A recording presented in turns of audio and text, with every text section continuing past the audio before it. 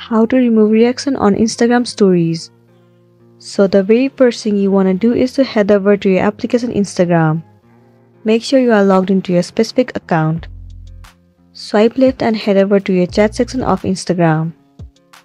Head over to the inbox of the person that you have reacted. Now in order to remove, all you want to do is tap and hold the story that you want to remove and simply tap on unsend. Once again tap on unsend. There you can see that the reaction has been removed successfully.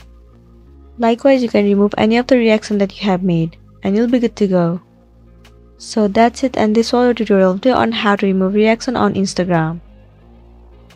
I really hope this video is going to be helpful for you. Thank you for watching it till the end.